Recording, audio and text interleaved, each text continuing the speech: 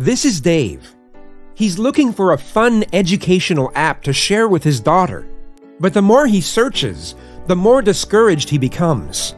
Low quality apps, annoying ads, expensive in app purchases, it's not a pretty sight. Then Dave has an idea. Why not make an educational app myself? I can create the learning experience I want for my daughter. And I can release it for free so kids around the world can start their education early. Dave and his team get to work. They create free apps for reading, learning the alphabet, shapes, math, and more. And every single one is released for free.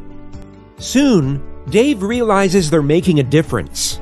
The apps are some of the most popular learning games on iPhone and Android, and they're downloaded over 7 million times each month.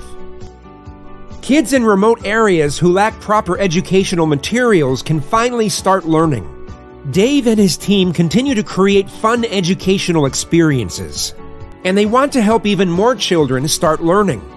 These apps do not make a profit, they will always be free if parents continue to share with friends, family, and teachers. If you help spread the word, we can reach 15 million kids every month and make a real difference. Together, we can educate kids around the world.